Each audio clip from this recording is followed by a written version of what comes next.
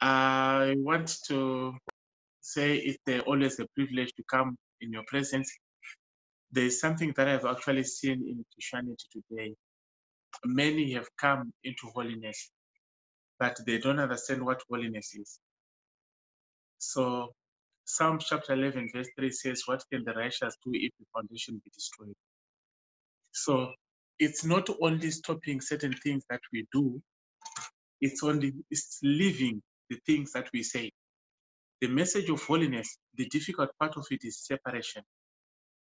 To stop that which you are doing that will that will disturb your walk with the Lord.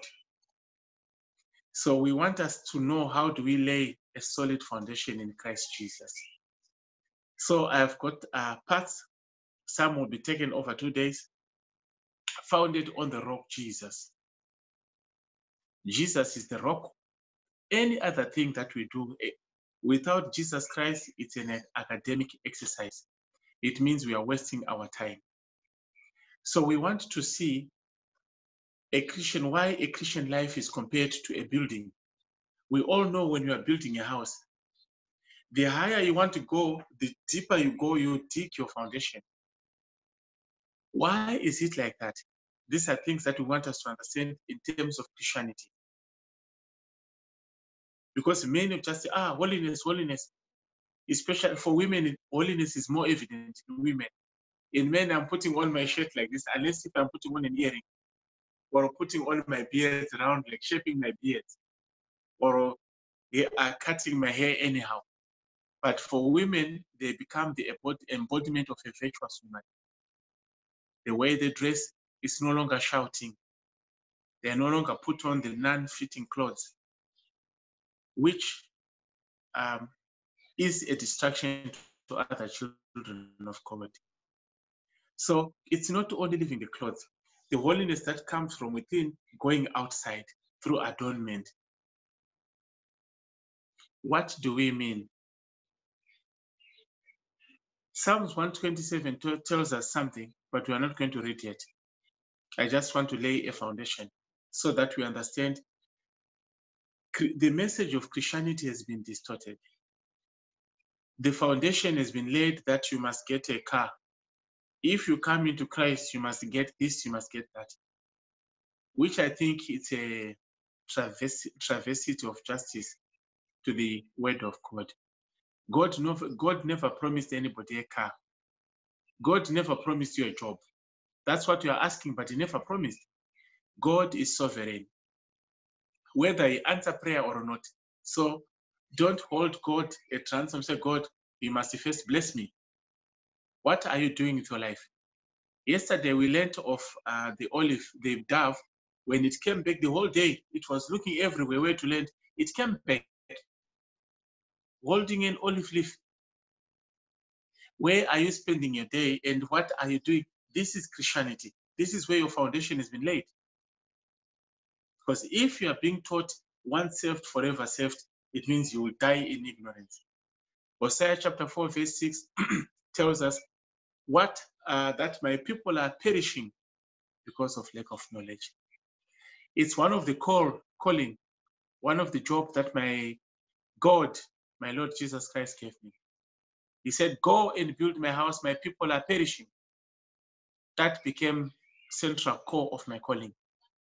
Go and build my house, my people are perishing because of lack of knowledge. Many doctrines have gone out there. Many spirits are out there. It's very important.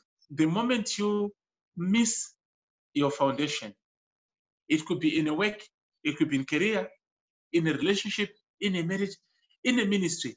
If you go in a ministry where they teach you the wrong things, that there is no hell. God was making jokes when he was talking about hell in the Bible. Then it becomes a danger. It allows you to live the life that you are living without fear of being judged. This heaven that we see, heaven and earth, is certainly going to pass away. But these words will not pass away. So let us get into our teaching founded on the rock, the rock Christ Jesus. Jesus is the rock. You can build on a sand. You can, no matter how um, marvelous the building is looking appealing to the human eye, as long as Jesus Christ is not part of it.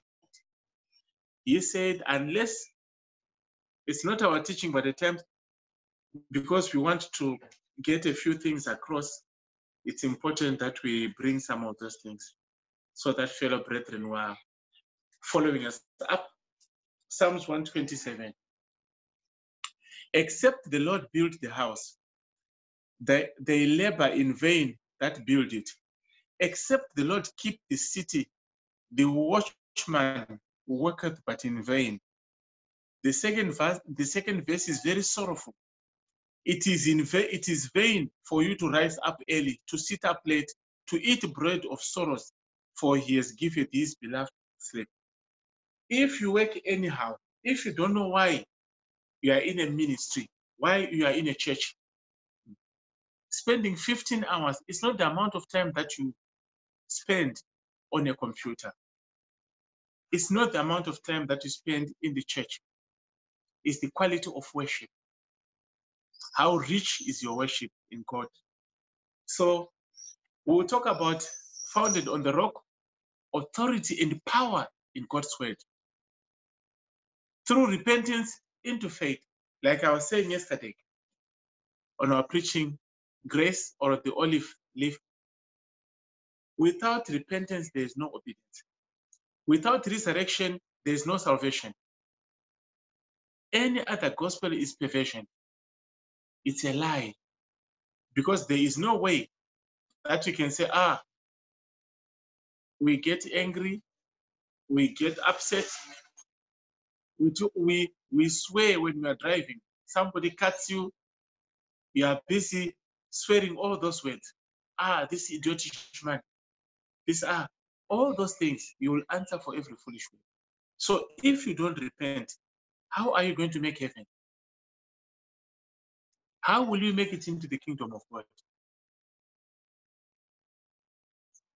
A Christian responsible to be built, um, a Christian is responsible to build up into a dwelling place for the Lord. You need to build up a place for the Lord to come in. God does not use a filthy vessel, a defiled vessel. You cannot have the spirit of strife and the Holy Spirit will be working with you. No, it's impossible. It is impossible. You cannot go and be drinking beer and say the Holy Spirit is speaking. The Spirit, the gifts of God are without repentance. What does it mean? You still can continue speaking in tongues. But those are useless tongues. They don't edify anybody. Even the devil sees, even the devil can raise people from the dead. That's not Christianity. Christianity is not about how many people have risen from the dead. I've got quite a number of people that I prayed, but that's not holiness. Holiness is your personal walk with the Lord Jesus. If you walk with Him in truth and in spirit, then His power manifests. But it doesn't manifest where the spirit of strife. Jude, the book of Jude, it's only one chapter, Jude. Because if I say Jude chapter 2, I will see somebody looking for chapter 2. You know, we need to we need to know our Bible, children of God. We cannot claim there's a Muslim was boasting of knowing all the scriptures, all their Bible, until God told him everything is nonsense. You Christians, 20 years in church, you don't even I don't even know this one. Huh? Which, where do you get your authority from? If you can, if you don't know the word, go Matthew chapter 6, verse chapter, you go Jude chapter 20, verse Jude, Jude chapter 1, verse 27, Revelation chapter 2, verse, this is what children of God must do. All those African movies that you are watching, all those numbers, useless numbers that you are claiming, what do you need them for? Busy claiming telephone numbers that you can save on your phone. Where are you going to save your Bible? Your Bible when the devil comes, when the devil comes to fight you now, are you going to pick up your phone and start saying, ah, which verse was that? You would have finished already. Children of God, we need to be wiser. Jude chapter 1, it's only the same one chapter, 20 and 21. But here, beloved, building up yourselves on your most holy faith, praying to the in the Holy Ghost. Praying in the Holy Ghost, this is a significant statement. Keep yourselves in the love of God, looking for the mercy of our Lord Jesus unto eternal life. These are very significant things that we are hearing here. These are very significant things. Keep yourselves in the love of God. What happens in the love of God? There are many things that you need to understand. The Spirit of God is very gentle, long suffering. When you, when you still see that, you say, Ah, I'm a Christian. But every, wherever you are, you are always fighting. I saw one pastor. He was, he was, he was already making his shirt like this. So, this one need to be del delivered. To. It's a demon manifesting. They cannot work with the Spirit of God and say, ah, I want to pray. Who are you going to evangelize? Your life is not ministering already. He wanted to, he wanted, he wanted to arrange to rearrange my face. And now we are talking about Jesus. You want to take me back to creation, Abby? That's why people reject your gospel. It's what how you live your life that people accept your gospel. The message of holiness is about how you live your life. It's not what you tell people. In German, like we say, um, the um, the tongue does not have bones. You can say, ah, me, I'm flying. Me, you can fly with your mouth. I live a holy life. That's what the demons also do. They claim to be living a holy life. What difference do you make? What fruits? By your fruits, you would know. We learned about that when you're doing the Matthew chapter 7. By their fruits, you will know them. Because many tend to misapply the scripture. Do not judge, for you'll be judged. We are not condemning anybody. We want you to know certain things when you come into a ministry, when you go into a ministry, when you go into a church. There are certain things that you need to see. If you don't see those things, let there be red lights. What is increasing in all the thing in all uh, your life in the church is the number of years. Quality life, nothing. Fasting, you cannot fast. Each time there's fasting, you're already on Obono. You're already on your equity. It is very unfortunate at times that this this our body, it's a bag of sand. It's, it's not taking us anywhere. It's the spirit man that it's the spirit man that is going to accompany us, that is going to meet the Creator. Ephesians chapter 2, verse 22. It says, In whom you are also built together for an habitation of God through the Spirit. We are seeing here the Bible is advancing a course, it's laying up a foundation. Ephesians chapter 2, verse 22. In him you are also built for a habitation of God through the Spirit. God lives in you. So if you see me fighting now, that's when you say, ah, if God is living, is this how God is living in angel with the angels in heaven? Holding a belt, running after an angel, saying, I want to you today. So because we claim to be ambassadors of Christ, then we are known by what we stand for, right? It's a fair assessment. We say we are complete holiness. So if we are complete, let us be judged by what we are producing. We cannot people people are judging us, they are looking at the fruit. What fruits are we producing? What fruits are we producing, brethren? We cannot be a, a, a mango tree producing bananas. Then the foundation is wrong. How did you receive Christ? How were you called by the Lord? Some people said, ah, I met an angel in a shop. So are you going to call that shop holy shop? If you were meet to, to meet this angel in a toilet, are you going to call your toilet holy toilet? There's no record in the Bible where an angel has called anybody. An angel does not have heaven. It's only the Lord Jesus Christ who calls you and commissions you. If you are called by an angel, go and ask God, say, God, can you call me? Many are chosen, but many are called, but few are chosen. Many will come to him on that day, say, Lord, Lord, was I not teaching on CHMI? This is a very sad reality. God is not a respecter of persons. What is man that you are mindful of him? It's not what you do, it's how it's how you end your life that will determine where you are going. How you start, nobody's interested. It's how you are going to end. You may live 47 years, your Christian life. You go and commit adultery, you are dead and buried. Go straight to hell. Your 47 years becomes a waste. That's why we need to lay up a very solid foundation. First Peter chapter 2, verse 4 and 5. To whom coming as unto a living stone, disallowed indeed of men, but chosen of God and precious. Ye also, as lively stones, are built up as a spiritual house, a holy priesthood, to offer up spiritual sacrifices acceptable to God by Christ Jesus.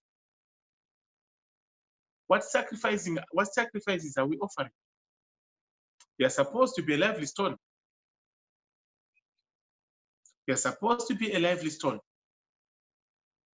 They're supposed to build up a spiritual house, a, royal, a holy priesthood. Remember, when the in the book of Hebrews and say, um, you are now a priest forever in the order of Melchizedek.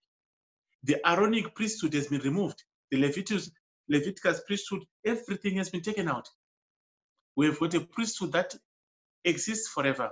Remember when Abraham was coming from the defeat of kings, when his um, nephew Lot was taken in Sodom and Gomorrah, he met the king of Salem, Melchizedek. That was the only time that he was met. That's why the king of peace. When you go to Isaiah chapter 9, unto us a child is born. His name is called Wonderful, Father of peace. When you start seeing, you say, ah, Jesus Christ was everywhere in the Bible. He was everywhere. What are we talking about? Laying a solid foundation in Christ Jesus. The book of Acts, chapter 20, verse 32. And now, brethren, I recommend you, I recommend you to God and to the word of his grace, which is able to build you up and to give you an inheritance among all among all of them which are sanctified. I commend you, I commend you to God, to the word of his grace, which is able to build you up. If you are not if you are not receiving the word, how do you grow? When the Lord was saying manna from heaven, manna, it was not manna. This is the bread of, this is the bread we are giving out. If you want to see the other bread has got yeast, it's not producing fruit. When you go into a ministry, when you go into a church, if you see after six months, you are you now you've become a perfect liar. Before it was small, small lies. Say, ah, were you on the phone? Say, no. Hmm. Now, now it's like you got a PhD in lying. You can lie, even the devil will smile and say, ah, this one can lie past me. That you have become an expert. And you say you're in a church. You came before, you said, ah, I'll drink small, small. Now we are drinking 10 beers a day. And your pastor is still saying, no, don't drink, but do not get drunk. There is nothing like a church prostitute, an armed robber, a Christian armed robber. All these things is absolute nonsense. Many have been made to believe. They came and bought a projector from money they stole. And now they are saying, God, I said God is part of it. No, God has nothing to do with it. People must be very careful. Don't be deceived. If you think God is nothing unholy can enter into his presence. If this man of God or a woman of God lacks discernment, it's just a taking for the sake of taking, pray for him. there is a danger. Don't just rush to be praying for people. Say, ah, I, I want to pray for somebody. No. It's not only rushing to pray. I refuse to pray for somebody. I said, ah, it came, they wanted the, the issue with their document. I said, if you made a lie to the home office, I will not, I'm not, because God is going to answer that prayer. And this person will say God is a liar. Why did you allow this lie to go on? You blaspheme God. I do not want to rob God of his blood. If somebody's got a clear conscience, my conscience does not allow me to do such a thing. We are complete holiness. When tomorrow, when this person comes, say, no, you know what? It was from complete holiness that I get this my paper. So you cannot say I, go, I must go and restitute. All these things, it complicates our standing, our walk with the Lord Jesus Christ. Don't be fooled or use emotions. Foundation of the building is important. It sets the limit, it sets the sizes. The higher we want to go, the deeper we the deeper we, the deeper we must dig. So foundation is the primary, is the essential, is the primary. You cannot build a house without a foundation. If in half a meter, it doesn't really matter. It will maybe live 40, 50 years. If you got deeper, it will probably live a few hundred years. So your foundation must be solid, brethren. This is why it is important for us to discuss this issue laying a solid foundation in Christ Jesus. We are entertaining people. We have taken the work of comedians to put to come on the pulpit. People are busy clapping hands like this, listening to useless prophecies. They're not good. They don't edify God. They can tell you your name. Even the demons knows your name now. Were you not in sin yesterday when you came out to Christ? Why would the demon not know you when 30, 35 years you're living with this demon? The demons knows you very well. So don't claim, ah, speak man of God. What speak man of God? You need a solid foundation. You don't need a prophecy. What you need is repentance. What you need is the word of God. Read the word of God. Faith comes by hearing and hearing the word of God men are being tossed to every doctrine that comes. Yes, as Christians, we must not get into foolish arguments.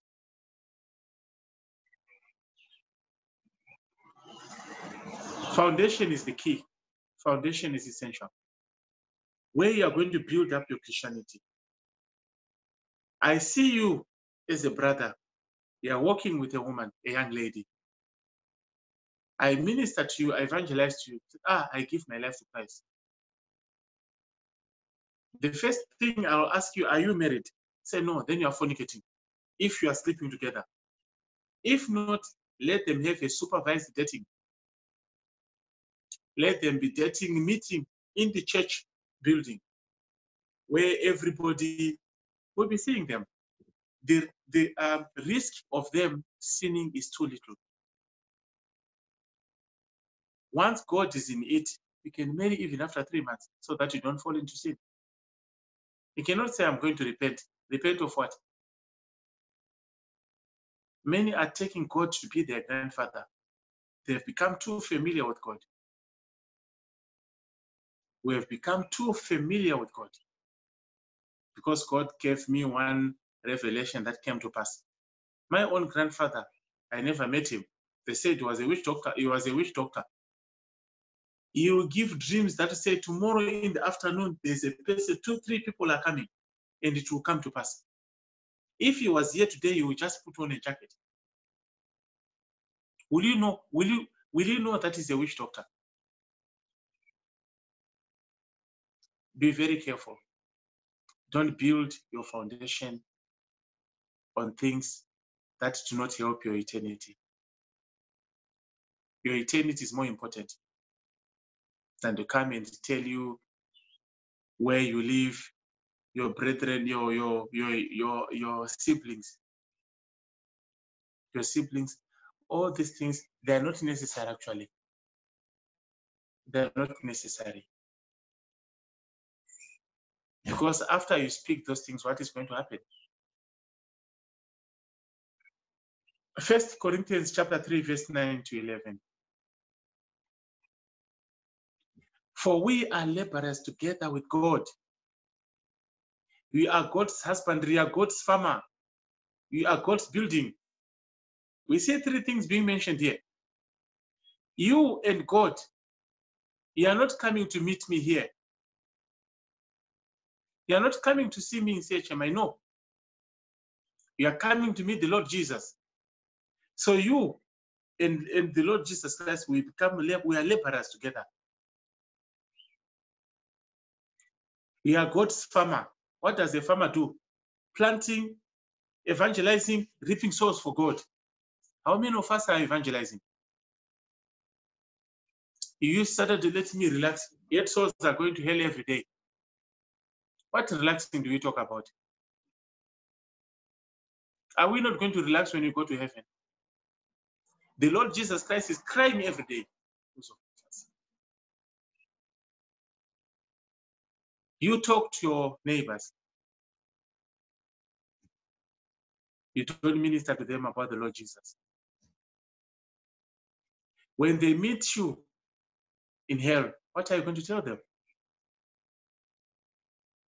Because we are told, no, you don't need to be evangelizing. It's not necessary. Once saved, forever saved. That's a lie. No evangelism, no heaven. No tithe, no heaven. Forget about it. No matter, like I always say, I don't get into foolish arguments. Whoever wants to argue, it's okay. This is God's work. God is not going to ask for anything from anybody. If you want to finance these operations, it does, but you're doing it for your own soul. If you choose God, you have, you have found peace for your soul.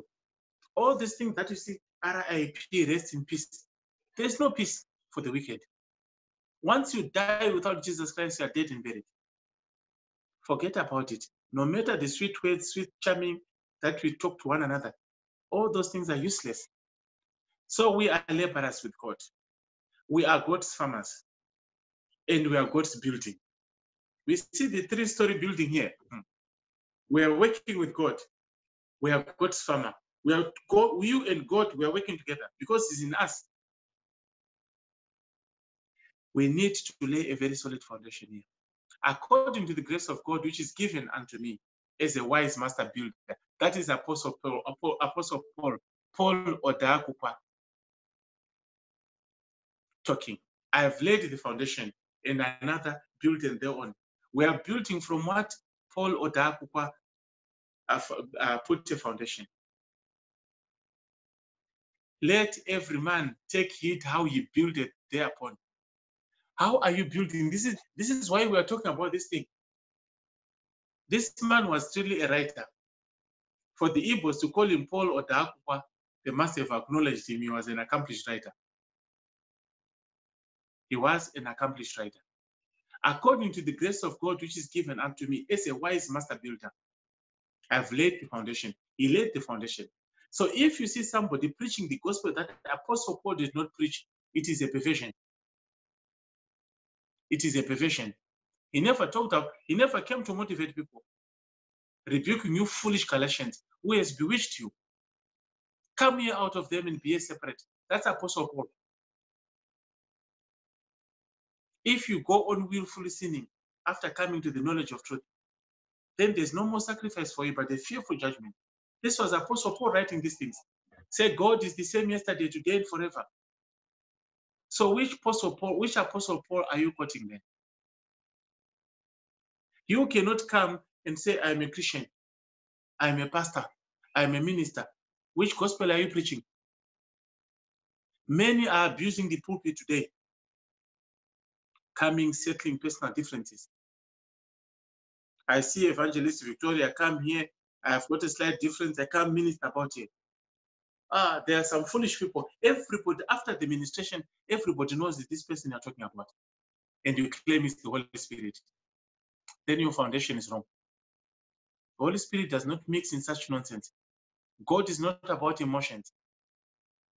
He cannot come and be preaching somebody. Instead of edifying, you are bringing bitterness into somebody. Once you climb the pulpit, I'm not here, I'm not representing myself here. I'm representing the Lord. So when I come and start attacking somebody, when are they going to, to defend themselves? It is a shame. Ministers of God abusing the pulpit, dressing each other down like this, tearing one another, one another apart. And they said, We are going to heaven. Heaven indeed. Bitterness. How do we pray in that condition? What type of prayers do we pray? This heaven is too serious. We're living at the most sensitive time in history. Two weeks ago, I got another rapture, rapture revelation. And the people are joking here, coming joking with your eternity.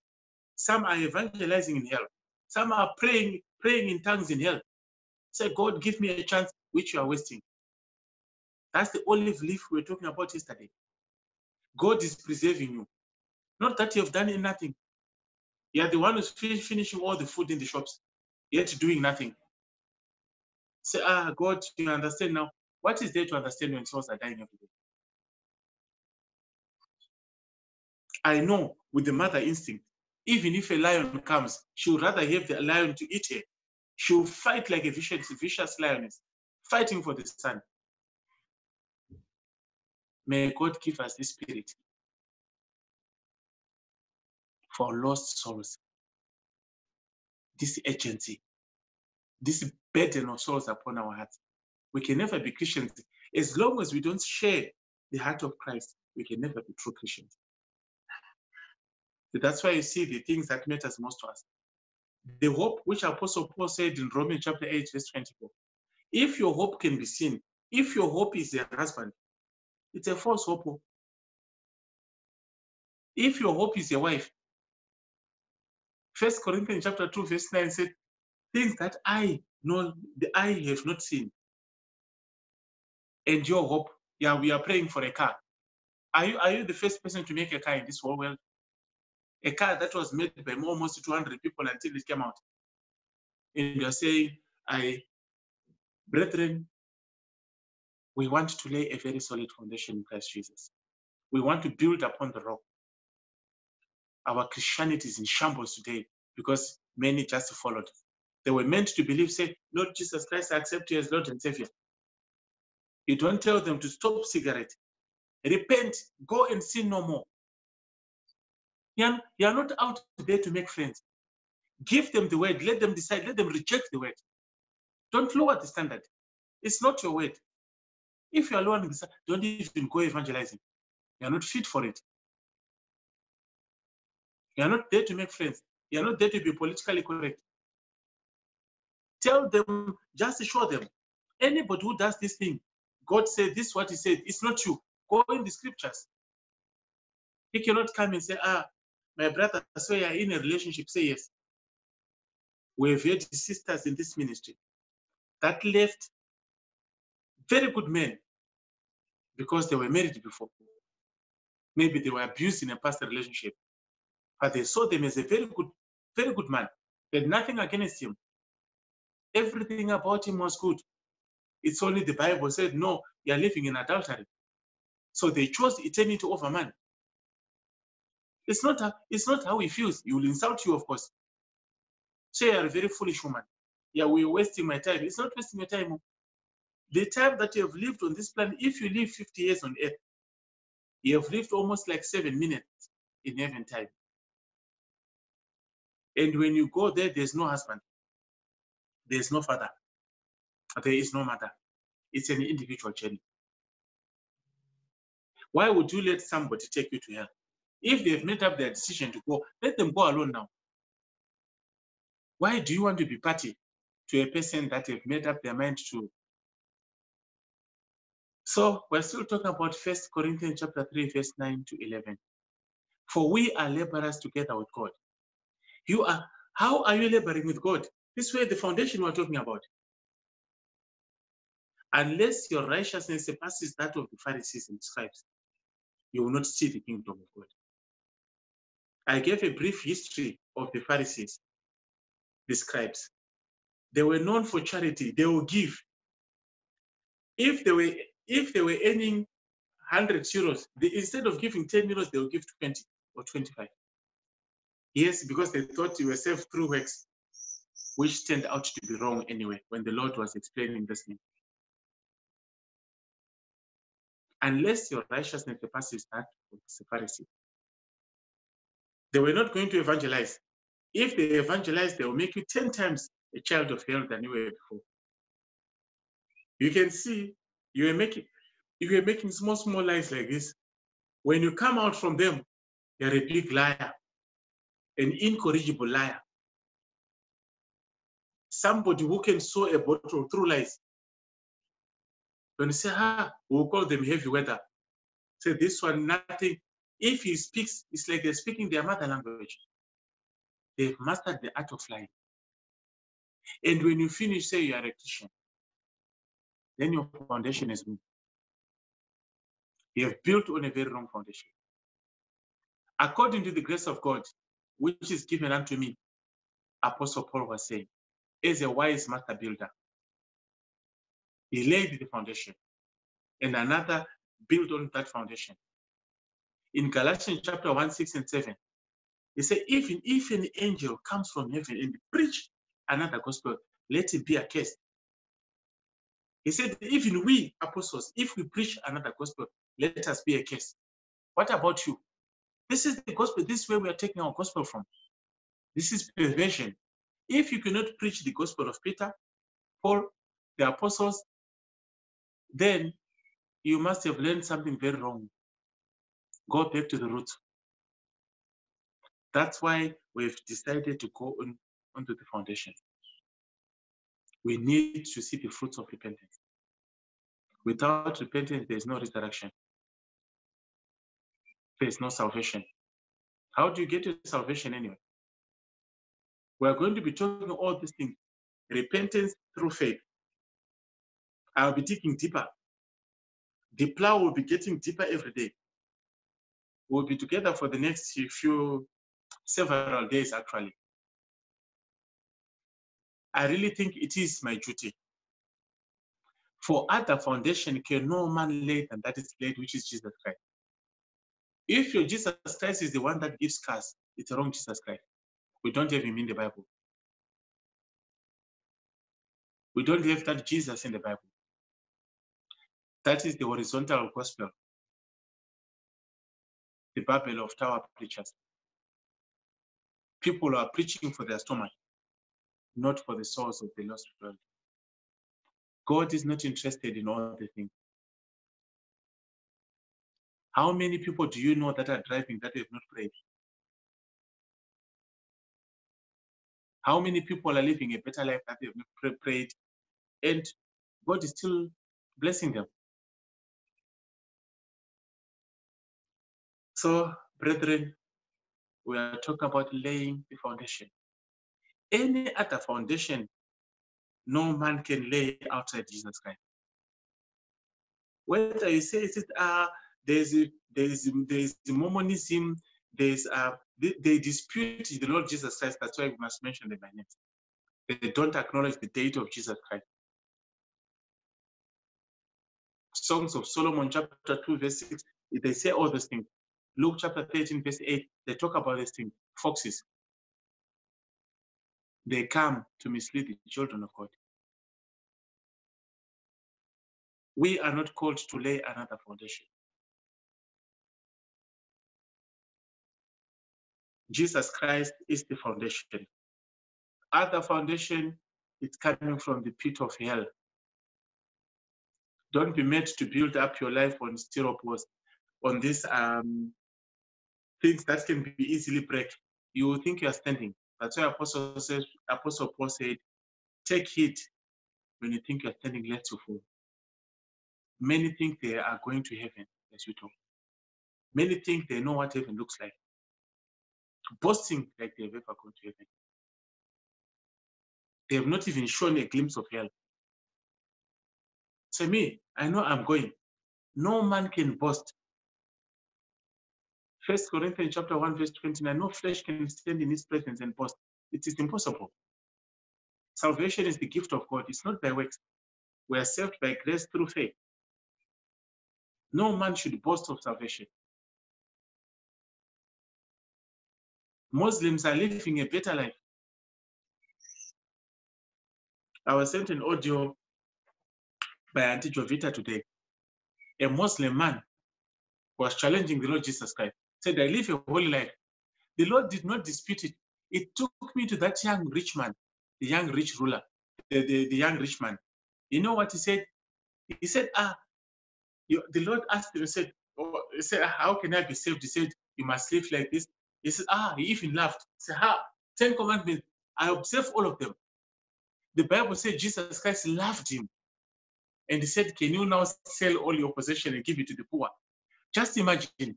He was not lying before the Lord. He said, All those things I've done them religiously. Ten commandments which are which you are failing to hold yourself here. And you are boasting to be a Christian. He was speaking to God himself. He said, These ones, I've done them. He said, Go and sell this one because it had the idols in his life. So we can see our Christianity now. If a Muslim, if the Lord can attest that somebody who is a Muslim, Buddha, he wake up 3 a.m. to pray, things that we're not doing as Christians. It's a shame. It puts us to shame. Just imagine a Muslim, Salah Akbar, you know Jesus Christ, the God of Abraham, Jacob, and Isaac. That's when you sleep like a dead, like a dead man like this. A Muslim would watch it, praying to a dead person. And there you are, you know the living God. He cannot even pray once a day. You say, God, do you know now what, what to know now. Muslims, whether they are happy or not, they pray. Whether they were beaten outside there, they will still come and pray. Your only problem is you were told that if God does not answer prayer, is a wicked God. Did God promise you a child in the Bible? Did he promise to give you anything? Hannah, people caught Hannah. Hannah went to cry unto God. He said, God, since you don't have prophets, all the prophets that you have have failed you. If you give me a son, I'll give you a prophet. God said, This woman is making sense. God said, You are making sense. What happened? God said, sure. I'll give you a son. True to a word, she came back. Said, God, since you've given me a son, you've got a prophet. This is the prophet Samuel that we know. Prophet Samuel, he had the three, all the three offices in the Bible. He was the pastor, he was the priest, he was the king, he was the prophet, the seer. Remember that time there were rulers, this. We need to understand our foundation here. Foundation must be understood. Laying the foundation. Matthew chapter 16, verse 18 to 18.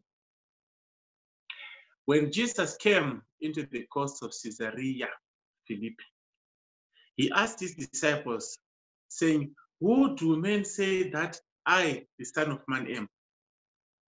Who do people say I am? Who do people say CHMI is? And they said, some say that our John the Baptist, some say Elias, some say Jeremiah, and some say they are one of the prophets. Just imagine, oh, you are one of the prophets. He said, Okay, I hear you. I hear you. He said to them, But who do you say I am? It's not about others now. Who do you say I am? And Simon Peter answered, Thou art Christ, the Son of the living God. And Jesus Christ said unto him, Blessed art thou, Simon, for flesh and blood has not revealed this one to you, but my Father which is in heaven. And I say unto you, that is where this popular saying always comes. They say, Upon this rock I'll build my church, and the gates of hell shall not prevail again. That's where the popular verse is. If you read a few verses down the line, you hear the Lord saying, Satan, get behind me when Peter was talking. Said, ha! This is a man who was praising a short while ago. You see discernment. The Lord knew all these things. It's not about friendship. Your heaven is more important than that. So he was saying, Upon you, Peter. So this was a contrast of Peter with the rock. He did not compare himself to. It is, it is something that is important. Upon you, Peter, I'm going to build my church, and the, the gates of hell shall not prevail. When we hear church, we see a building. They are not different from the Pharisees. Outside, everything's looking well, beautiful, well, flowers, all this thing. What is coming from there? Stinking in heaven. They are not known as Christians in heaven. If there's one, there's probably one or two people that are praying from the heart that have been taught by the Lord to pray. The rest, they're just coming in to make up the number. They become pastors' customers because they are only giving money to pastor. So in laying the foundation, we have put four phases. One, we need to enter. Jesus is the door. John chapter 10, verse 7. Remember yesterday when I was reading about the ark, when Noah entered the ark, when I say Jesus said, I am the sheep, I am the door of the sheep. When he says sheep, he's not talking about goats. There's a difference between goat and sheep.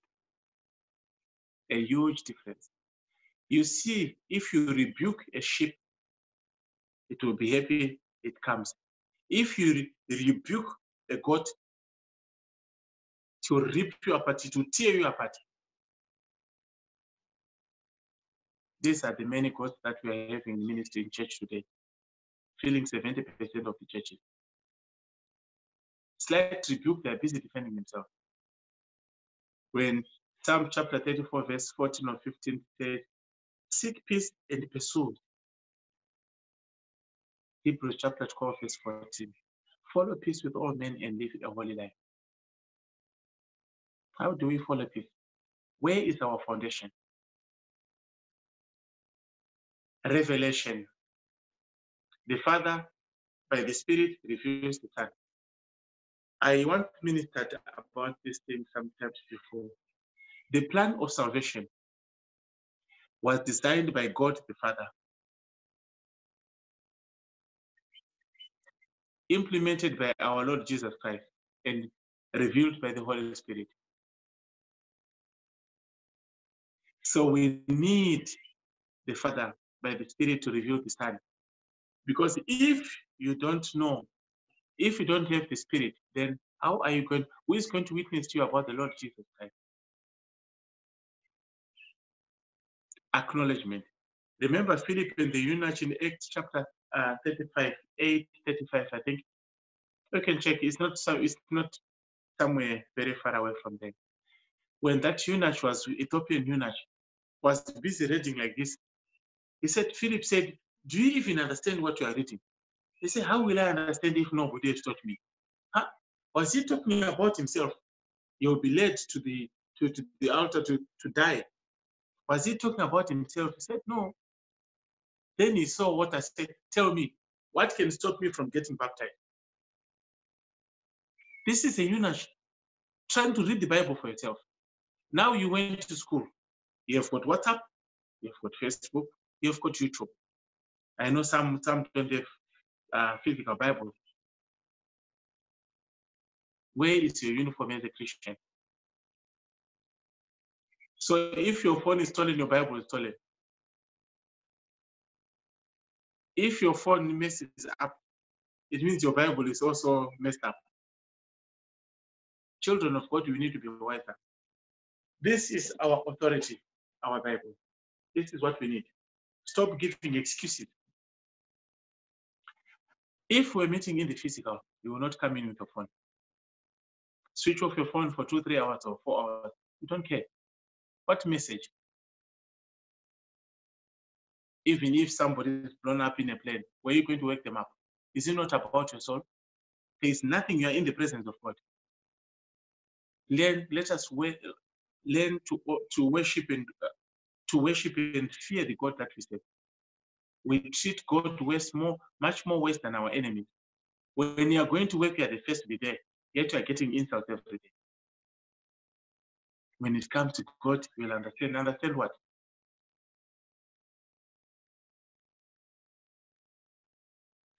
So we, we must acknowledge the Lord Jesus Christ as our Lord and Savior.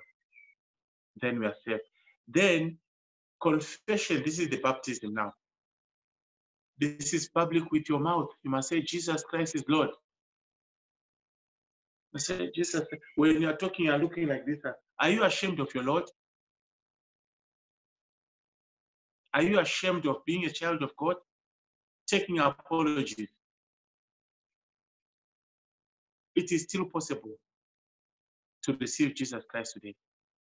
He was not only received in the Bible, in the Old Testament or the New Testament.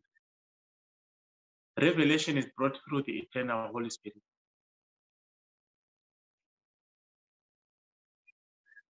When you get revelation, dreams, you open visions or so, it's the Holy Spirit will be trying to bring you closer unto the Lord. So we talked about three things now. We have talked about three things. A Christian life compared to a building. Laying the foundation. And then building on the foundation now. Building on the foundation. Comparing a Christian life to a building. We know you don't just come start putting walls like this, they'll fall down. So you need a foundation. Laying the foundation, and then we come to building on the foundation. Then we will go into the Bible. Then we'll go to a few things. Because of our time, probably, or continue a little bit of it tomorrow. Matthew chapter 7, verse 24 to 27. Evangelist Victoria, can you please read for us if your Bible is with you?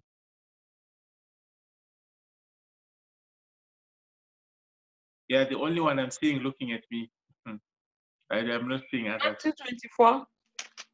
No, Matthew chapter 7, verse 24 to 27. Matthew Matthew- chapter 7, 7, chapter 7, verse 24 to 27. Okay. I read in Jesus' name. Amen. Therefore, whosoever heareth these sayings of mine and doeth them, I will liken him unto a wise man which built his house upon a rock. And the rain descended, and the floods came, and the winds blew and beat upon that house, and it fell not, for it was founded upon a rock. Verse 26 And everyone that heareth these sayings of mine and doeth them not shall be likened unto a foolish man which built his house upon the sand. And the rain descended, and the floods came, and the winds blew and beat upon that house, and it fell, and the great was the fall of it. Hallelujah. Amen. Are we are we seeing something here? The Lord was telling them, if you listen to what He tells you, you are like somebody building his house on a rock. It's different from sand. In sand, you become somebody foolish. Mm. If after hearing this message, you still behave like a raven, you go out and spend eh, all the time there with the dead bodies, because everything out there was dead. What are you going to do? You have heard that Jesus Christ is the way, the truth, and the life. And there you are, you're checking with your eternity. We say, ah, me, people cannot do this. It is your eternity is more important. The Lord said in Ezekiel chapter 33, verse 10 and 11, Ezekiel chapter 18, verse 32, it talks about um, he does not wish that any should perish. It's not his wish. I like the 318 part of it because it helps me to wash my hands. I don't want anybody's blood on my hands. Let me, let me just read it so that we, we, we refresh our memory. When I'm invited anywhere to preach, that is always my first verse. That's where I get my authority from. I don't want to go somewhere without blood, then come back as a murderer. It will not be my portion in Jesus' name. Amen. Ezekiel chapter 3, verse 18, it says, When I say unto the wicked, Thou shalt surely die, and thou givest, givest him not warning, nor speakest to warn the wicked from his wicked way, to save his life, the same wicked man shall die in his iniquity, but his blood will I require from thine hand. Hmm. How many people are going to escape this thing? Your brother drinks beer. He's humanizing. Ah, he's my young brother. Ah, it's okay, I love him. If he dies without you telling him about Christ, your own eternity is at stake. This verse is, is condemning many Christians actually. I loved my father. You never ministered your father about Jesus Christ. You were giving him money. Was he going to live forever? Is it not yesterday that we were reading First Chronicles chapter 29, verse 15? We are sojourners. We are passing through on this earth. You look like somebody is going to live for 100 years on this earth. Who told you that? If you go to sleep and do not wake up, what becomes of you? And that's where you are, you are joking with your eternity. Say, me, I'm not going to do this. No. Well, say, let us seek for forgiveness from God. Say, no, I cannot repent. What have I done? Stop sowing those fig trees for yourself. Isaiah chapter 64, verse 6 says, The filthy rag. We live in self deception at times. This is the most critical and sensitive time in the history. The angels are waiting. Say, Jesus is receiving his bride. There are many angels. So they just hear, say, ah, there's a Pastor Jeff um, on earth. So ah, we've got a pastor on earth. They are looking forward to meeting me.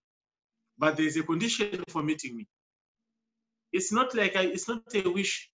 It's not because you want it that it's going to happen. No, you've got to live a holy life. Be a holy and blameless. When you live a blameless, you cannot be holy. You cannot pre- preach the truth of God without love, or preach love without the truth. It's a lie. Sister Sonia saying a lie. I tell her so. It is impossible now. How do you preach truth without preaching love? These are two pair of shoes. If you go on street walking with one pair of shoe, why should it be different with Christianity? It is a lie. Don't be deceived. Only what only what lives. Uh, No, we only need love. Love. Uh-uh, not only love. There are two pair of shoes. So you cannot put you cannot put your leather jacket, your, your one shoe and one slippers like this. People will call you a madman. but this is spiritual madness that is being accepted in the church today. Mm. When we see people dressing like that spiritually, at times we sympathize, you know. It's like the emperor. Many, we think people are clapping us. Let me tell you a story. Hmm. Several years ago, there was a man, you know, Adidas before, they were not like these shorts that we are seeing today. These were all shorts, um, like boxer shorts, because men, they were not putting on underwear then. I don't know what happened to his Adidas short. People started to, see, The man started running like a madman. He came number one. He came out tops. Say, Hofi, see. office. The man started running like this. Office, office. When he was running, he thought people were cheering you up. Little did he know they were laughing at his nakedness. When he got number one, people were still saying, Hofi, see.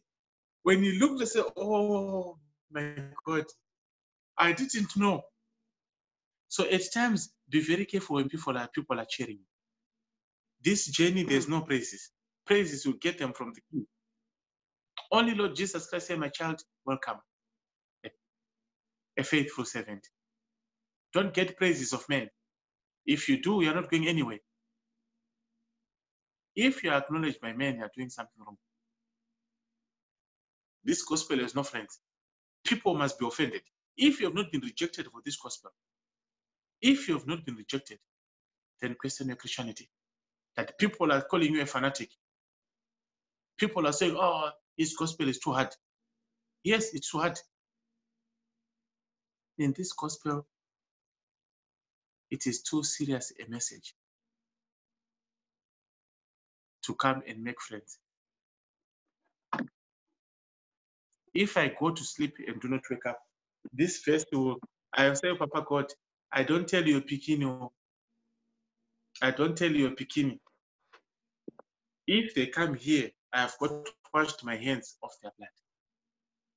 If you don't repent, it's not only preaching about these things, you need to repent thereafter.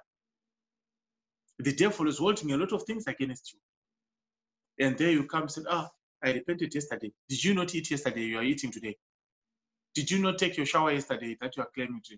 Say, God, should I be repenting every day? If a king in the book of Jonah, chapter 3, could fast with animals, just imagine animals. Mm. God said, ah, this man, he exceeded, he exceeded the expectations of God. God said, if this man can, animals, imagine animals, babies, toddlers, they fasted. They didn't die.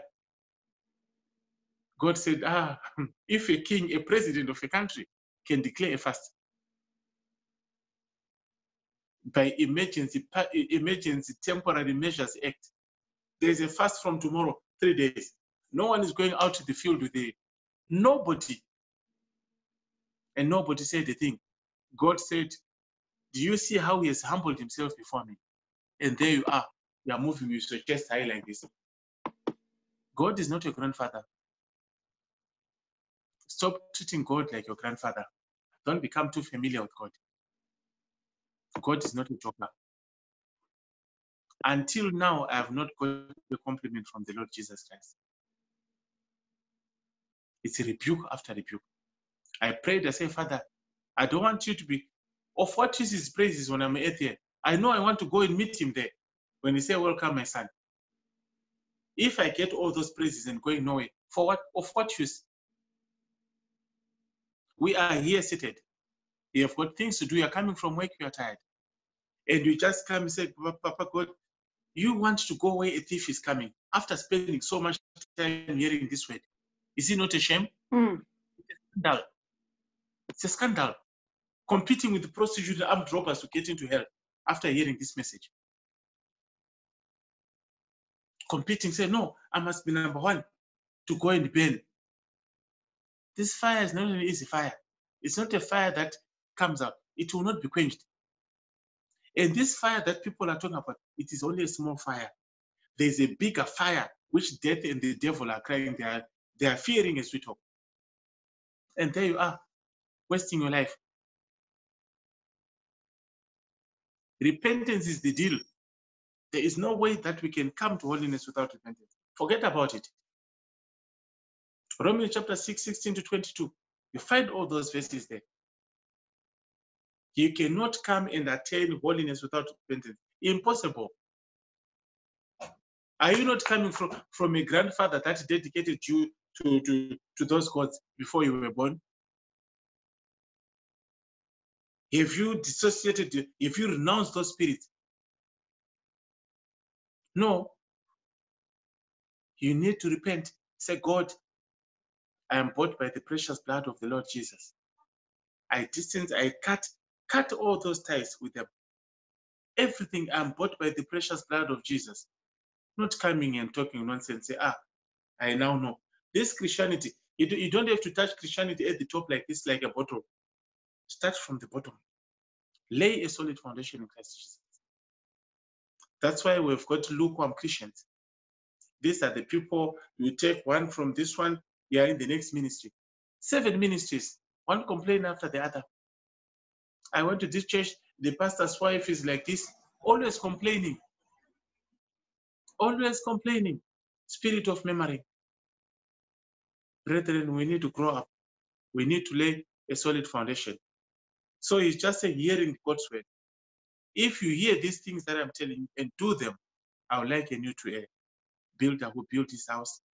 So hearing the word of God is very important. But doing doing it is more, much more important. it's much more important. Luke chapter 6.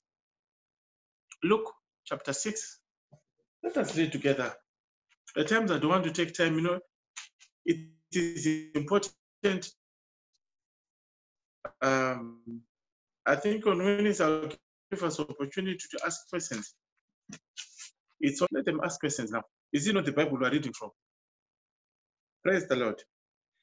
Luke chapter 6, verse 46 to 49. And why call me Lord, Lord, and do not the things which I say? Hmm. Hi, this is a powerful saying, Lord, Lord, and do not do the things that I say. Whosoever cometh to me and he- heareth my sayings and doeth them, I will show you to whom he is like.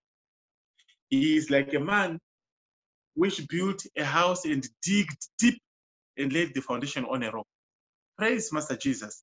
And when the flood arose, the stream beat vehemently upon that house and could not shake it. It was founded upon the rock. Jesus is the rock.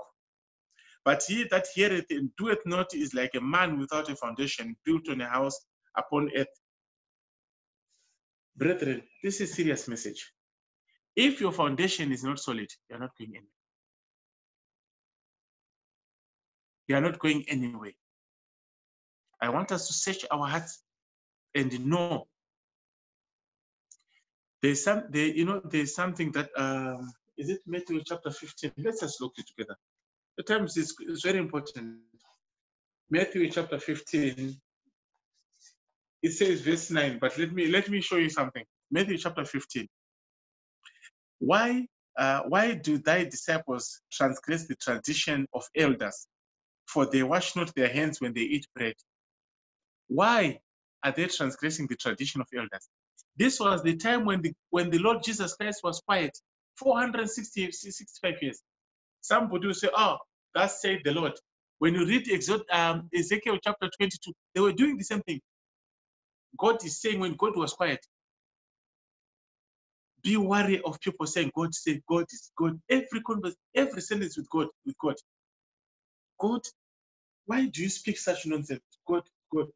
God is not like a man who is speaking like a radio. God is not a radio, who will be talking, talking, talking, talking like this. Go and read the Bible and know God from the Bible. He spoke already. Eh, Unless if you want to give you a revelation. There are people who have been praying 72 hours. People pray 40 days. You don't hear them, you see them with their humility. I met a sister several years ago. Ah, the Holy Spirit said, ah, the Holy Spirit said. I said, sit down, my sister. Do you know the Holy Spirit? I said, how does he look like? Say, no. When did you come in faith? The devil appears as an angel of light. You come to church late every day. Every time you come to church, you're the last to come in when the church is about to close. They said the Holy Spirit said, forget that nonsense. He cannot be the last to come and talk about Holy Spirit. When you're staying at home, you- the Holy Spirit will be quiet. You only talk when you come into the church. These are the spirits, the sorcerer spirits, the witchcraft spirits manifesting in church. If the Holy Spirit can let you miss the word of God, that can edify your life, that can change your life. And then you come and say, Holy Spirit. Don't use the name of God, the, way, the name of God in vain. Say it is laid upon my heart, it's okay. You don't have to be a, a traditional guru. The 15, this, this is the one I wanted to read. Matthew chapter 15, verse 9. But in vain they do worship me. Let's start from 8. The one you are saying from Isaiah chapter 29, verse 13. He said, These people draw it. But let us start from 7. You hypocrites, well did Isaiah, you are saying Isaiah prophesied about you. When you read the Old, eh, Old Testament, there are no scribes, there are no Pharisees, there are no these teachers of. It was the Lord now revealing them. You are standing on Isaiah chapter 29, verse 18. They say, Isaiah prophesied about you, you hypocrites. You worship me with your mouth when your heart is far away from me. And but in vain they do. You are worshiping true, but you are doing it in vain because your foundation is wrong. That needs to be sorted out, brethren. Foundation is very important. traditions of men. Traditions of men. God is saying, God is saying, God, when God is quiet, people are still using the name of God. Ah, God is saying this. Ah, God said this. Why don't you say that it is written in the Bible? This, this, every situation is in the Bible. Why don't you use the Bible? You want to scare people, say God is saying, God is saying. If you become a, a microphone for God, that will be talking everywhere. Go and read the Bible. Set yourself. Live your life. Make sure your foundation is very solid. Traditions of men. That's why all Valentine is being celebrated in, in the church today. People are celebrating love.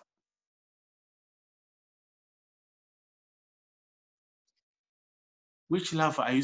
This is a this is this kind of it's a I don't know it's a demonic love. It has nothing to do with God.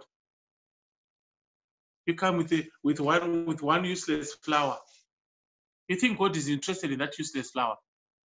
Said, oh, small tears. He said, God, if you drop dead, hmm, if that roof of that church breaks down, forget that you're in a church or that you are in that building, not a church. You will perish and go to hell. They are not hoodwinking God to say, I was in church. Doing what? It's not going to school. You can go to school for nothing. Going to school for nothing.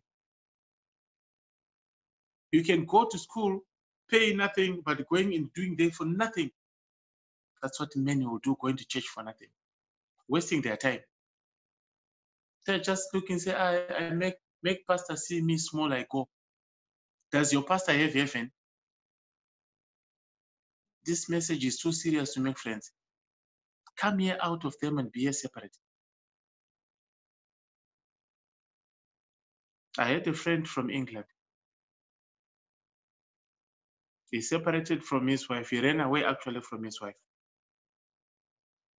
When he was trying to justify himself, I said, you know what? After finishing this conversation, delete my number. It's not about friendship. You can support him as a man. What about the four children that are outside, that are in that marriage? Running away from his responsibility. No, I'm not going to marry. What does the Bible say? If she go and meets another man, you've caused her to sin. Sin must come, but who through him it comes. Standing on a wrong foundation. They say, no, I can live. Now I heard he's going to marry a woman. We saw it coming. Did we not did we not grow up in these ghettos that they are trying to be wise to us? I was not born a holiness pastor. Thank God for that.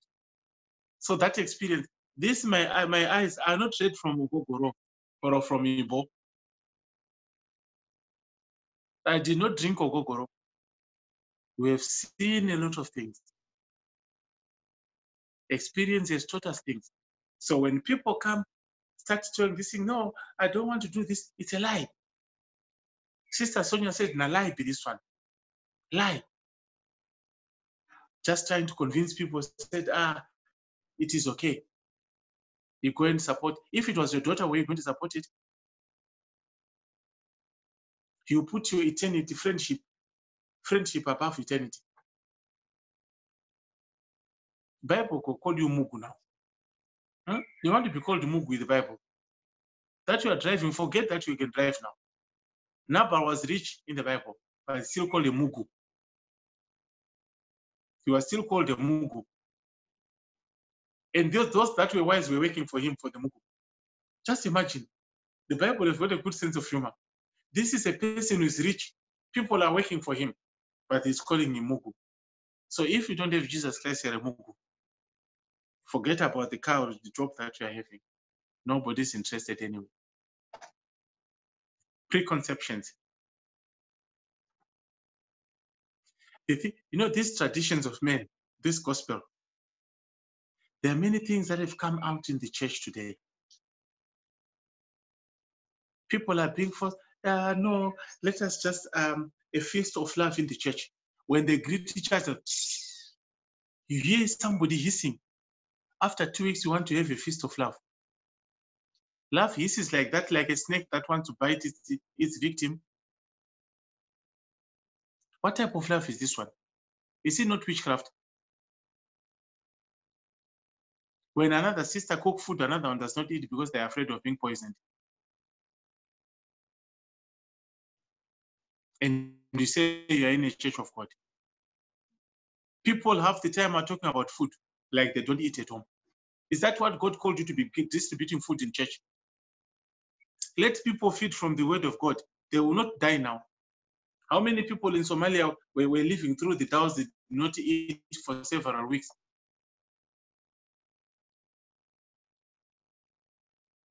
Have you seen a fed Somalia? No. It became part of their genes. You go to church, food, food, food, food, food. Are you going there for food? People are now coming to feed themselves, cut on expenses. Instead of using that money for evangelism, they are busy growing people's stomach. Hmm? Is it not witchcraft? Unbelief, rebellion. First Samuel chapter 15, verse 23, I think, yeah. First Samuel chapter 15, verse 23. These are things that we're having in church today, rebellion.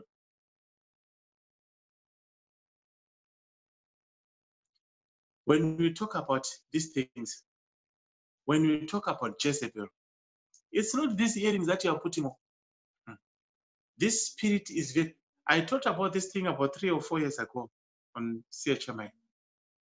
These things, hmm, if you are to look at that tape, God will help us. It's a very controlling spirit. Forget about these earrings, this thing. It manifests differently. From pastors' wives, chief culprits amongst them. It, uh, it can possess a man or a woman. When you see it like this, it's either my way or no man's way, the tomboy spirit. You can see it. Say, ah, oh, oh, this is the spirit. It either goes or it doesn't. When you start seeing the manifestations of such spirit, you say it's the Holy Spirit. Simon the sorcerer, people were calling me a Christian. They were calling him uh, Oga Bishop, Oga Apostle, Oga Pastor. Papa Pastoya, say, yeah, Pastor. Until the apostle says, yeah, he's a witch, he's a, he's a, he's a wizard. He's a sorcerer. Stop following, stop following, following, following. This follow, follow. Where does it come from? Wrong foundation. What you need is Jesus. Don't compare yourself to anybody. Jesus is the rock upon which our the church is built, upon which our faith is built.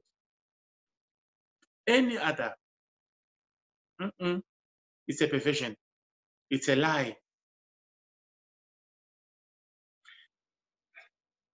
John, um, the scripture, the Bible, is the word of God in writing. Let us see where it is.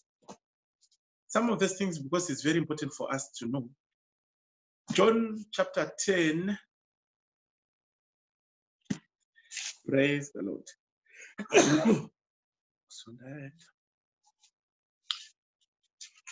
John chapter 10, verse 35, I think. Yeah. If he called them gods unto whom the word of God came, the scripture cannot be broken. The scripture cannot be broken. So the word of God in writing, this is the scriptures. The word of God in person is the Lord Jesus Christ. In the beginning was the word, the word was God, the word. We know, we know John now. Verse John chapter 1, the 14 says, He became the light of men. And yeah, Bible students, let us read this together so that tomorrow we can follow up.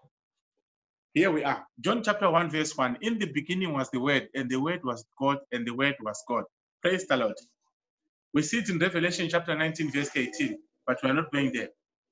Uh, then John chapter 1, verse 14. Praise Master Jesus. And the Word was made flesh and dwelt amongst men, and we beheld his glory as the glory of only the begotten Son, the begotten of the Father, full of grace and truth. Does your life have truth in it? So we can see here, the Revelation 19 said, His name was written the truth, the word of God and the truth. When you read Revelation chapter 19, verse 11 to 13. So there's a total agreement between the word in scripture and the word in person. That's why the Lord Jesus Christ said, I did not come to take away the laws, to, to nullify the, the prophets, what the prophets were saying. No, he came to fulfill them. So we can see there's an agreement here. So if your scripture that you will be quoting, or your pastor will be quoting, if it does not tally with this word, there's a perversion somewhere. So I'm rounding up John chapter 14. Then we can have a few prayers. Praise Master Jesus. John chapter 14, let's start from verse 19. Yet a little while, and the world seem, seem, seeth me no more, but ye see me because I live, ye also live. 22. Judas said unto him, not Iscariot, Lord, how is it that thou wilt um, manifest thyself unto us and not unto the world? Jesus answered and said unto him, If a man love me, oh, this word love, he will keep my words, and my Father will love him, and will come unto him, and we will come unto him, and make our abode with him. This is a very significant statement. He that loveth me not keepeth not my sayings. He, no, we want to 23. Good, praise the Lord. John chapter 14, verse 19. John chapter 14, verse 22 and 23. There's something significant here. From the world. If you keep God's word, it distinguishes you from the one out, out there. If you keep God, keeping God's word is the supreme test of every disciple's love for God. Your love for God, your love, love is the motivation for obedience. I love God. I don't want to drink beer. When you see woman say death is coming up, hmm? say woman say hi. This woman say hi. Forget about it. Death is coming. Many, this is the weapon that the devil tried. He won through it. Keeping God's word is the supreme cause of God's love for the disciple. We are all disciples of Christ. Through God's word, Christ manifests because the word of God is kept and obeyed. You keep the word and obey it. Deuteronomy chapter 11, verse 22, Deuteronomy chapter 6, verse 22, where God is also, it talks something about that, keeping their statutes. Through God's word, the Father and the Son indwell in the disciples. We will come and take our God. You can't love, you cannot love God more than you love His word. How is it possible? I love God and you are living in strife. How do you love God? How do you love God? So we see that there is no contradiction in, in the Bible. There is no contradiction. So today we have been talking about, we talked about three, oh yeah, a few things actually. We talked about Christian life compared to a building, laying the foundation, building on the foundation, the Bible as the word of God John chapter 10, verse 35. John 1, verse 1, John chapter 1, verse 14, Revelation chapter 19, verse 11 to 13. If I if I if I claim them wrongly, please remind me. So we cannot be beaten by Muslim in claiming the Bible. Let us be moving Bibles and living it. Huh? We know all, all functions of our telephones without checking this thing and the vital things. You cannot love God more than you love His word. A true disciple of Christ is known. Is you can distinguish him from the world by the way that he lives his life. A true Christian of a true Christian, a born again Christian does not live in strife. Let us try to live in peace with one another. Over to you, Evangelist